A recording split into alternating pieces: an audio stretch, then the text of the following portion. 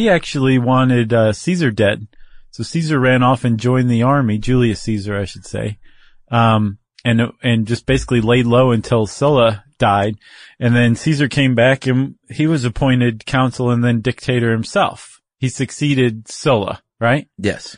And Caesar, um, is very well known to be a dictator, but he actually, if you look at the stuff he did, he was a, a friend to the people. He forgave debts among a, the a benevolent dictator. the pretty much Yeah. among the middle and lower classes.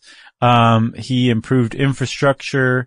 He um, he basically went to bat for the lower classes, which threatened the elite because he it made him immensely popular. Plus, he was a dictator, so he actually uh, created a he staged a coup to to become a dictator, right? To gain power, yeah, which we'll talk about a little more. and then a coup was plotted against him.